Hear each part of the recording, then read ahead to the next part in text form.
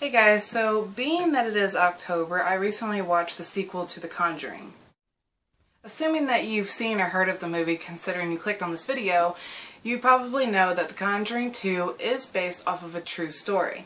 Mind you that The Conjuring 2 is a Hollywood movie and not a documentary, so not everything is going to be exactly how it really played out. So I thought out of curiosity, why not research the actual story that the movie is based off of? And I found quite a bit of information on historyversushollywood.com. I'll try to leave plenty of links below, and I'll also try to include some pictures. Um, but I will be reading the story off of my phone from the website. Uh, there was a quote from the real Janet Hodgson um, that she gave to Daily Mail Online, and it said, It lived off me, off my energy. Call me mad if you like. Those events did happen. The poltergeist was with me, and I feel that in a sense he always will be. So, I'm going to read exactly what they have online. If you'd rather check it out online and read it yourself, go ahead and click the link below. But questioning the story, when did the Enfield haunting really begin? The Conjuring 2 true story reveals that according to the mother, Peggy Hodgson, the haunting, and sorry if I'm mispronouncing names, but the haunting of her Enfield home began on the evening of August 30th, 1977. It was on that night that her daughter Janet told that told her that her brother's beds were wobbling. The next evening, um, Peggy heard a loud noise from upstairs. She entered her children's bedroom and saw a chest of drawers moving. She tried to stop the heavy oak chest as it moved toward the door, con concluding that an invisible force was trying to trap them in the room. Here's a quote from the real Janet Hodgson. It started in the back in a in a back bedroom. The chest of drawers moved and you could hear shuffling. Um, this is her recalling the story many years later in a Channel 4 Enfield Poltergeist documentary. Thinking that it was Janet and her siblings making the noise, she said that her mother told them to go to sleep. We told her that we told her what was going on, and she came to see it for herself. She saw the Chester doors moving, and when she tried to push it back, she couldn't. So I don't know how well you can tell by my camera, but to um, well, this side is the real Janet compared to the actress. Um, but did they hear any strange knocking coming from the walls? Yes. The knocking would fade in and out as it ran down the wall, supposedly frightening the family so much that they slept in the same room with the light on. Vic Nottingham, a neighbor, claims that um, when he went into the home to investigate at the family's request, he heard a knocking on the wall and on the ceiling, leaving him somewhat frightened. The knocking could be heard during this Janet Hodgson interview that was con conducted um, in the home.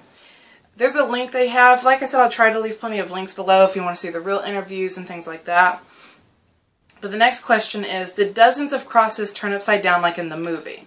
Which here's a clip of the movie where, if, you, if you've seen it, spoiler alert if I didn't say that in the beginning of this movie, or in, of this video.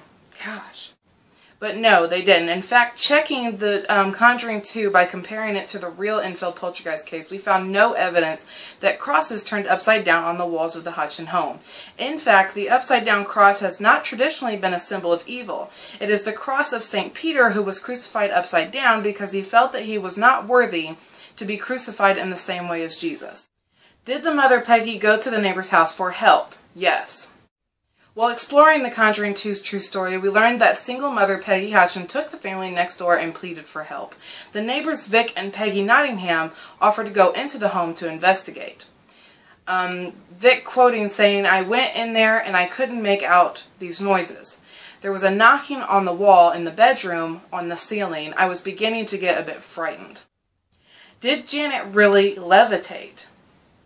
In the movie, Peggy's daughter Janet, who is played by Madison Wolfe, rises high in the air and finds herself pinned against the ceiling. This is a complete exaggeration of what allegedly happened in the real life, or in the real life story of the haunting. Uh, photographs of the real Janet levitating only show her a short distance above her bed. This, coupled with the way her body is positioned in the air, has led many people to believe that she simply jumped from her bed. The questionable photos were taken by Daily Mirror photographer Graham Morris after the family contacted the press. It should be noted that the Daily Mirror is a UK tabloid newspaper whose stories have often proven less than credible. The levitation was scary, recalled Janet, because you didn't know where you were going to land. But supporting the family's claims were two witnesses, a baker and a lollipop lady, who were passing by outside and claimed to have seen Janet hovering above her bed as they looked through the upstairs window. The lady saw me spinning around and banging against the window, recalls Janet. I thought I might actually break the window and go right through it. So I'm going to actually show you, like I said, if you want to go on the website and see the pictures, click that link below, but I'm going to put my phone up to the camera and hopefully you'll be able to see the motion of these pictures, and it says that these are combined photographs that appear to show the real Janet jumping from the bed on two separate occasions. The first and third photographs appear to be one instance, while the second and fourth are another.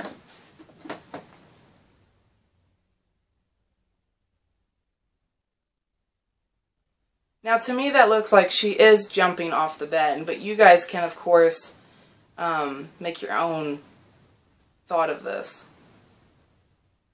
Now, did demonologist Ed Lorraine Warren really investigate the Enfield poltergeist case? Yes. But to a far lesser degree than portrayed in the movie, which is somewhat misleadingly billed as being based on the true files of the Warrens. Paranormal researchers Ed and Lorraine Warren briefly investigated the Enfield poltergeist in the summer of 1978 and were just two of the many investigators to visit the Hodgsons North London home on Green Street. Uh, most articles about the poltergeist case don't even mention the Warrens, leading one to conclude that their role in the case was significantly dramatized for The Conjuring 2. In fact, Guy Lyon or Leon Playfair, one of the original paranormal investigators on the case, came forward prior to the movie's release and said that the Warrens had showed up uninvited and only stayed for a day. He also said that Ed Warren told him he could make him a lot of money off the case. Ed Warren touched on the case and its skeptics in Gerald Brittle's book, The Demonologist, stating, Inhuman spirit phenomena were in progress. Now, you couldn't record the dangerous, threatening atmosphere inside that little house, but you could film the levitations, teleportations, and dematerializations of people and objects that were happening there. Not to mention the many hundreds of hours of tape recordings made of these spirit voices speaking out loud in the rooms. Um, as the case became widely viewed as a hoax, some saw it as proof that the Warrens themselves were frauds. Here's a picture, which they show at the end credits of the movie, of actual Ed Lorraine Warren. And sorry, my nails are gross, but um, yeah. Now, was the 11 year old Janet really possessed by a dead man named Bill Wilkins? While fact checking the movie, um, there was a discovery that this part of the movie was to some degree inspired by audio tapes from the real Janet Hodgson interview. Uh, in the recording, she can be heard conveying a message via an eerie voice, which is supposedly that of Bill Wilkins, a man who had died in the living room of the house several years earlier. Just before I died, I went blind, said the voice. And then I had a hemorrhage and I fell asleep and died in the chair in the corner downstairs. An interview with Janet at the time suggests that the idea of talking in a possessed voice may have been encouraged and planted in Janet's mind by paranormal investigator Maurice Grosse. When asked when the voices started, Janet said that one night Maurice Grosse told them, All we need now is the voices to talk. Almost immediately following the suggestion, they did. The voices had mainly growl, growled, barked, and made similar noises prior to this. I felt used by a force that nobody understands, stated the real Janet. She told this to UK's Channel 4, year, um, Channel 4 years later. Um, I really don't like to think about it too much. I'm not sure the poltergeist was truly evil. It was almost as if um, it wanted to be a part of our family. It didn't want to hurt us.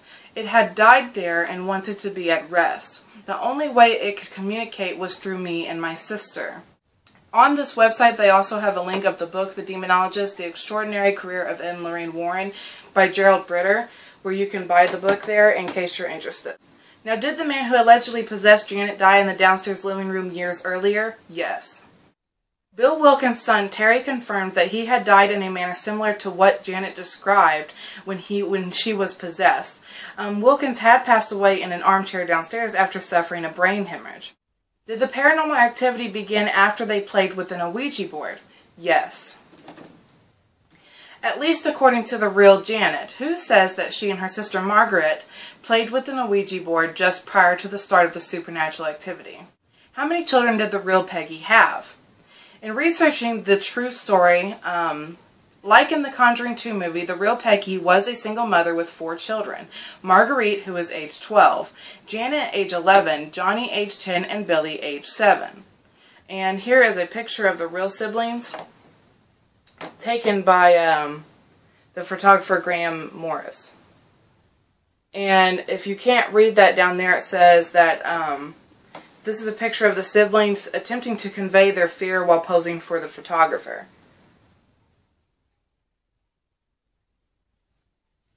Now, were Janet and her siblings bullied at school? Yes, and according to Janet, the other kids called her Ghost Girl and put crane flies down her back. Her brother was tormented in similar ways. Did furniture really move? Perhaps the most credible claim of furniture moving in the home, um, in the Hodgson home at 284 Green Street, involved a policewoman, um, WPC Carolyn Heeps. And I'll show you the real pictures below. The movie got got this pretty good. Um, but she had signed a paper to the effect that she had witnessed an armchair levitate approximately half an inch and move close to four feet across the room. In all, there were more than 30 witnesses to similar strange incidents in the home. And in addition to moving to the furniture moving, they had supposedly witnessed objects flying around, cold breezes, physical assaults, pools of water appearing on the floor, graffiti, and perhaps most incredibly, matches spontaneously igniting. Um, so here's a picture of the real police officers that came to investigate the home. Uh, police Constable Carolyn Heeps, which will be on the right of the picture, uh, said that she did see an armchair appear to levitate slightly and moved three to four feet across the floor. So there's the real picture. Now, did the police do anything to help? No. Despite a female police officer witnessing a chair move, the police left after determining, or determining, determining, why can I not say this word, that it wasn't a police matter since no one was breaking the law. Now, what caused the Enfield poltergeist events to quiet down? The real Janet Hodgson believes that it was a priest's 1978 visit to the family's home in North London that caused the haunting to calm down, not the Warren. Though the occurrences did not end completely, Peggy still heard noises in the house from time to time, and Janet's younger brother Billy, who lived there until his mother passed, remarked that you always felt like you were being watched. Um, here's a picture of the real Janet and the actress. Um, this is supposedly a photograph of the real Janet while possessed on the left, and then actress Madison Wolfe on the right takes things to another level in the Conjuring 2 movie.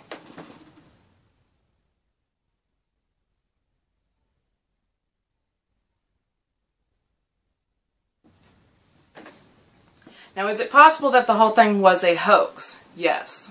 Two experts from the Society for Psychical Research, or SPR, caught the children bending spoons themselves. They also found it strange why no one was allowed in the room when Janet was talking in her possessed voice, which was supposedly that of Bill Wilkins, among others. Janet herself admitted that some of the Enfield haunting events were fabricated, and in 1980 she told ITV News, oh yeah, once or twice we faked things just to see if Mr. Grosse and Mr. Playfair would catch us. They always did. In an article that was published in the year before the release of The Conjuring 2, Janet said that roughly 2% of the paranormal activity in their Green Street home had been faked. Uh, during a Margaret and Janet interview that aired as part of a TV special in 1980, Janet is asked how it feels to be haunted by a poltergeist. It's not haunted, Janet replies smiling, and her sister smiles in astonishment as if Janet just gave up a secret and whispers, shut up, through muted giggles. Janet later said that she didn't feel that the poltergeist was evil, meaning that the house wasn't necessarily haunted. Now, like in the poltergeist story, a slew of similar accounts emerged in the years following the 1973 release of The Exorcist. Some argue that the film gave birth to a culture of paranormal hoaxes carried out by those seeking money and fame.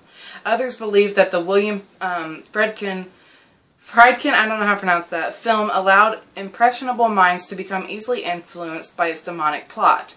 In any case, similar alleged true stories emerged, such as the ones chronicled in The Amityville Horror, The Exorcism of Emily Rose, the original Conjuring, and its spin-off Annabelle. The fact is, Maurice Grosse did catch Janet faking at times, and here's a picture of the real Janet on the left, admitting that paranormal investigator Maurice Grosse on the right caught them faking things on at least one or two occasions. And this photo is again by Graham Morris.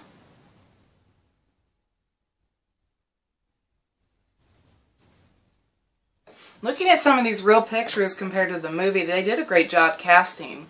Um, excuse me, but the next question is what happened to the Hodgson family after the paranormal activity subsided? And when the um, Enfield poltergeist event subsided and the press attention faded, the family faced various challenges. Janet married young after leaving home at age 16.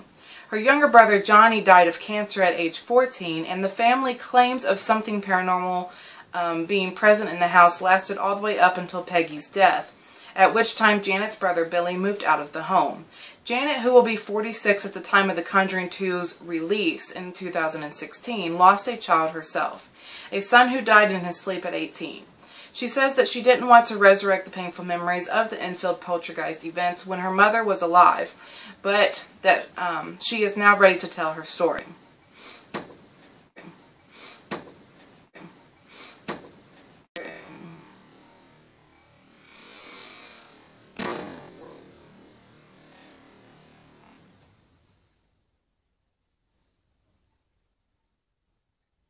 Now, how does the real Janet feel about the movie?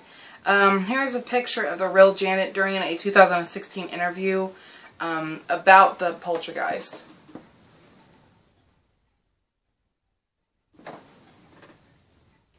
So, in researching the true story, um, the real Janet was less than thrilled when she heard about the movie. I wasn't very happy to hear about the film, she said. I didn't know anything about it. My dad has just died had just died and it really upset me to think of all this being raked over again. She can be seen as an adult in this 2012 Janet Hodgson interview as well. Um, that will be linked in the website. Now, do any of the families who've lived in the home since believe that it's haunted? After the real Peggy passed away, Claire Bennett and her four sons moved into the home. Like Janet's younger brother Billy, Claire claimed that she always felt as if someone was watching her. During the night, her children would um, get woken up by voices coming from downstairs. She then learned about the poltergeist that had supposedly haunted the home, and the final straw came when her son, um, who was age 15 at the time, woke up and saw a man enter his room. They moved out the next day after being in the home for only two months. So the website here has plenty of links um, to poltergeist interviews and related videos. And so they have like a um, the uh, the recording of her supposedly being tossed off the bed. They have the Janet and Margaret um, interview where you can hear knocking and then also where she supposedly goes into the possessed voice of Bill Wilkins. Um, they also have an interview of Janet in 2012 they have uh, images of, and an interview of Maurice Grosse. And then um, there's plenty of videos about the movie, like with the trailers and things. So if you want to go to that website, there's plenty of different videos to check out. A trailer to the movie and also two books on sale in case, in case you're interested. Um, I already told you about The Demonologist, The Extraordinary Career of Ed and Lorraine Warren by Gerald Brittle. And there is also one called This House is Haunted, The True Story of the Enfield Poltergeist by Guy Leon Playfair. There you guys go. There is the true story behind the Conjuring sequel. Um, and in case you guys want me to look up any other true stories on horror films, um, like maybe the first Conjuring, the true Annabelle story, um, I kind of want to, I'm kind of interested in doing that. I'd like to look up more films that are based on true stories and see what the real story was like compared to the Hollywood version. Again, I want to quickly emphasize the fact that um, when people seem to watch these movies, especially horror movies that are based on true stories, they tend to get a little upset if it's not completely like point on point from the actual story and like I said in the beginning of this video do try to remember that it is a movie and not a documentary um, and they, they tell you it's based on a true story they don't say it's 100% based or it's sort of based off a true story just that it's based off a true story but thank you guys so much for watching. Don't forget to subscribe for more content if you haven't already. And sorry that I cannot talk today. My mouth is really dry. Um, don't forget to hit that like button too if you liked this video, and I'll see you guys next time. Bye!